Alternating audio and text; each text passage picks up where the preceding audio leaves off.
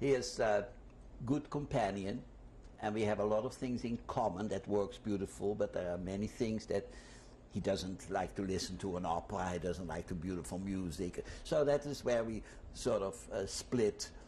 But for the rest, you know, you after all those years, you get so used to living with each other and give and take. That is with every relationship, I think. And you, get more than you take. That's the secret. oh, well, see, That's well, all right. he has other thoughts than I have. But anyway, and uh, you know who that is? This is one of the one of the children. This is Ponia, and there is another one that she disappeared. Hey, hey, Ponya. Look at that. Isn't that adorable?